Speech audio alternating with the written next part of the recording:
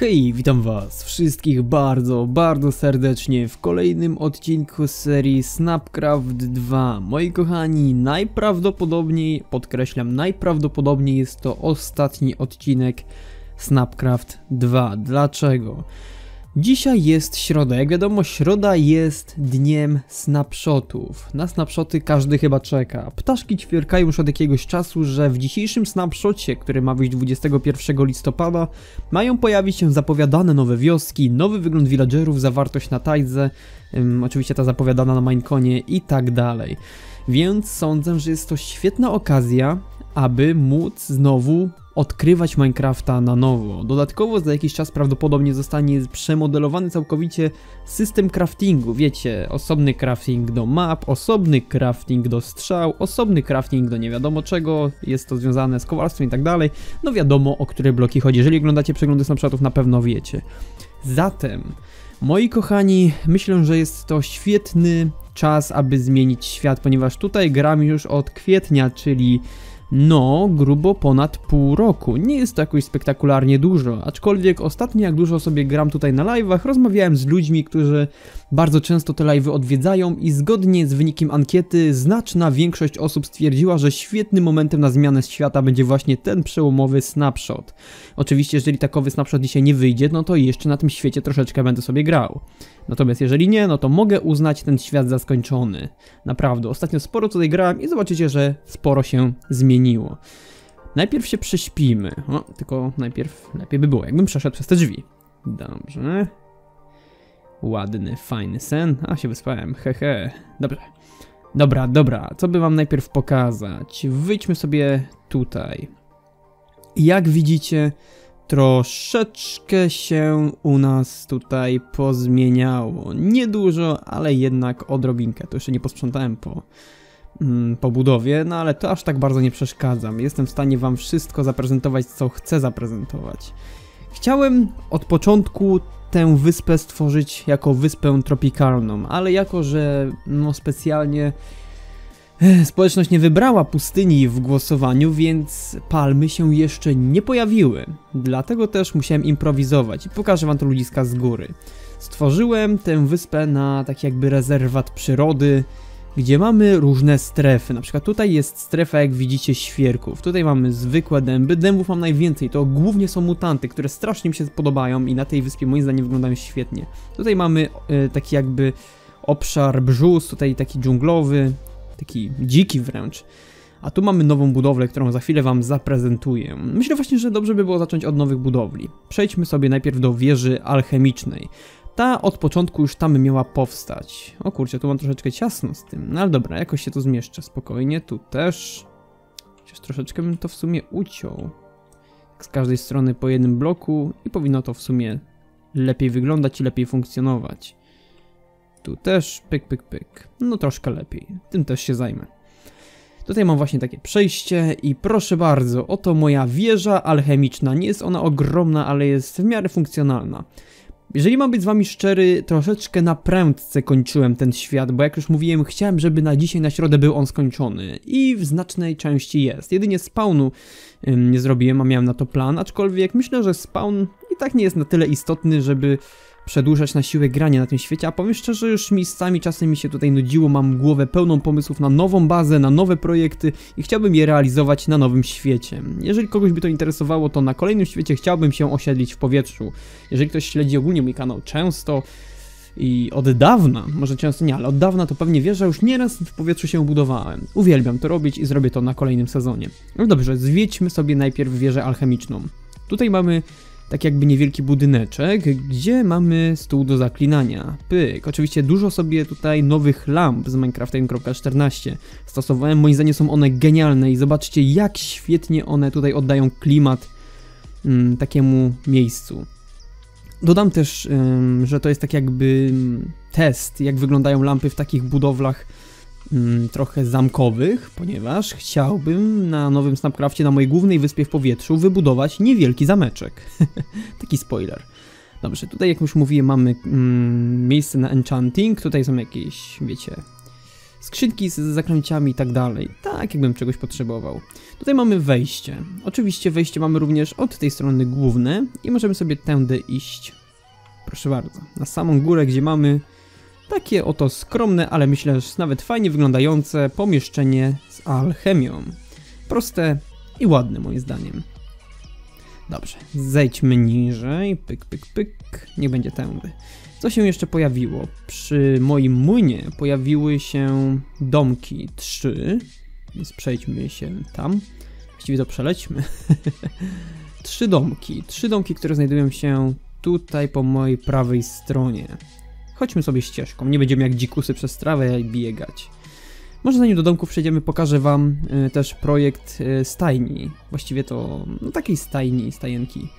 Dlaczego? Jeden z moich widzów napisał mi na czacie podczas jednego z live'ów, czy nie wybudowałbym jakiegoś domku mm, z dachem ze słomy. I wtedy w mojej głowie narodził się pomysł na tę stajnię. Moim zdaniem wyszła mi nawet ok, nie jest idealna, ale jest bardzo prosta i bądź co bądź nawet ładna. Jestem z niej zadowolony. Tutaj mamy lamy, trochę koniów, koników, pełno królików biega tutaj sobie po bazie. Fajnie to wszystko wygląda. No ale jak już mówiłem, tutaj mamy trzy domki dla wieśniaków. Niestety na snapshotach rozmnażanie wieśniaków działa strasznie słabo i na wyspie może znajduje się około 7-8 wieśniaków. Strasznie żałuję, że nie ma ich więcej. Byłby taki chociaż sztuczny tłum, ale nie jest tragicznie. Tutaj mamy domki. Pierwszy domek jest to mały domek brzozowy. Tutaj mamy mały domek dżunglowy i mały domek yy, świerkowy. Używałem tutaj okorowanego drewna, gdyż w mojej opinii wygląda naprawdę świetnie. Bardzo prosty design i wydaje mi się, że wygląda to naprawdę ciekawie, no bądź co bądź ciekawie. Na mutantach też podwieszałem sobie lampy, dzięki temu mam świetne oświetlenie. Oprócz tego też oświetlam sobie teren za pomocą tych dyń. Nie jest to wymagane w celu niespawnowania się mobów, ponieważ moby i tak się nie spawnują na tym biomie. Mimo wszystko chciałem, żeby było to fajnie oświetlone. Trochę żałuję, że tutaj nie jest oświetlone, no ale trudno, coś za coś. Moby się i tak nie spawnują, oprócz oczywiście fantoma, ale fantom się w powietrzu spawnuje, to się nie liczy. Dobrze, przejdźmy dalej. Tutaj mamy sztucznie zrobione jeziorko, które też w mojej opinii wygląda ciekawie.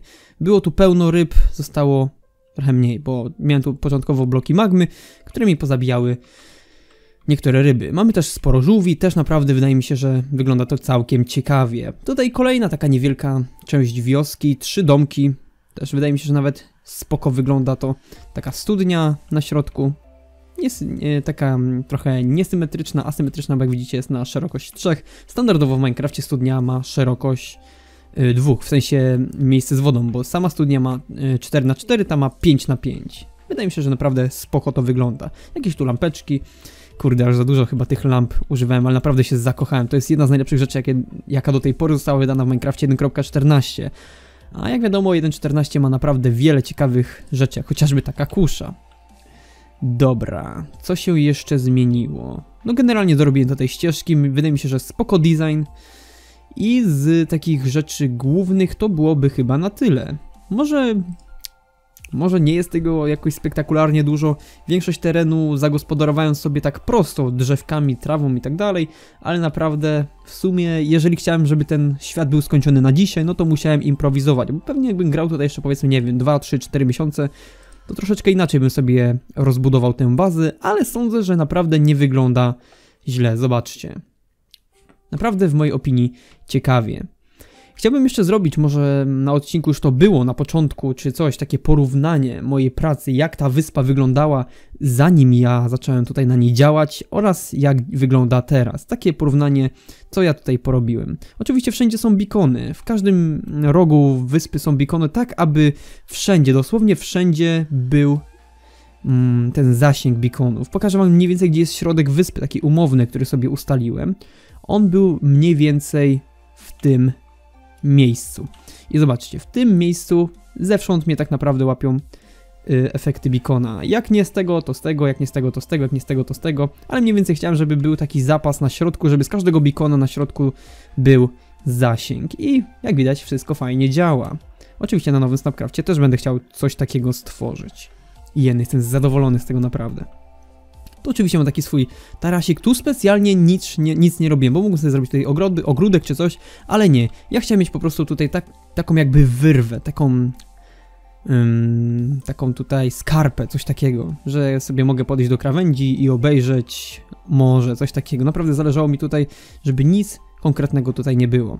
Ale chciałbym Wam również zaprezentować mój wulkan donatorów. Jak pewnie wiecie, u góry znajdują się top donatorzy. Top donatorzy zgodnie z umową zostaną przeniesieni na kolejny świat. Będzie miejsce dla top donatorów, ale pozostali donatorzy, którzy zostali um, umieszczeni tutaj, nie wiem czy wam pokazywałem to na odcinku, chyba nie, chyba jedynie na live, ci no nie zostaną przeniesieni, ponieważ oni już zostają tutaj na zawsze. Aczkolwiek mm, top donatorzy, żeby im jakoś tak się naprawdę odwdzięczyć za największą pomoc, jaką od nich otrzymałem, zostaną również przeniesieni na kolejny świat i tam będą dalej zliczane wsparcie. Będzie dalej zliczane wsparcie, jakie od nich otrzymałem. Niesamowicie każdemu z osobna dziękuję.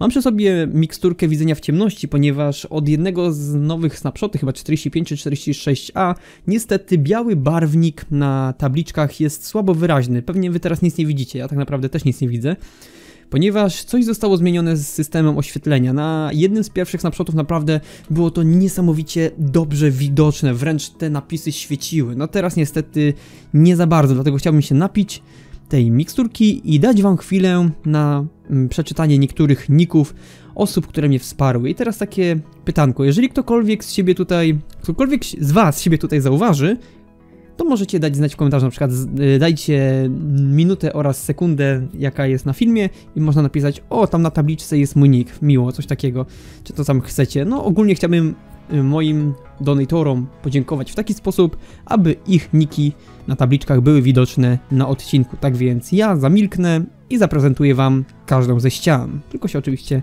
napiję, aby było to zdecydowanie lepiej widoczne.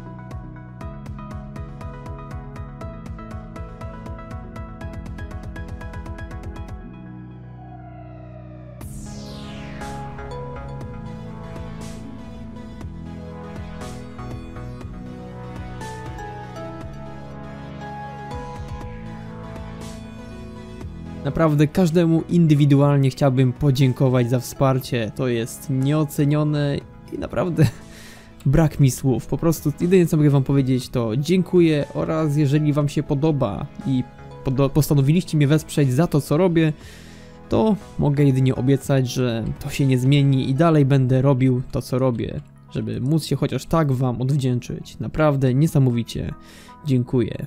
Również dziękuję osobom, które po prostu są na live, niekoniecznie co mnie wspierają finansowo, bo to oczywiście też jest miłe, ale też niesamowicie i wręcz chyba nawet ważniejsze jest wsparcie mentalne. Chociażby sama obecność na live jest nieoceniona, ponieważ jednak ktoś poświęca swój własny czas, aby ze mną go spędzić. Dziękuję naprawdę niesamowicie każdemu, każdemu z osobna. Snapcraft 2, moi kochani, chyba dobiegł końca.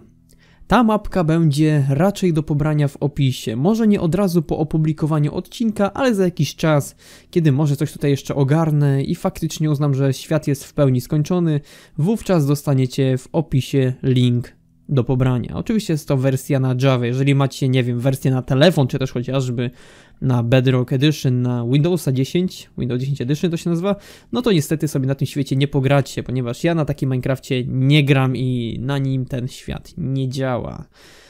Jeszcze raz, moi kochani, Wam niesamowicie dziękuję. Jestem naprawdę z siebie zadowolony. Mi się podoba ten świat bardzo. Może nie jest tutaj niesamowicie dużo pracy włożone, chociaż nie powiem, starałem się bardzo.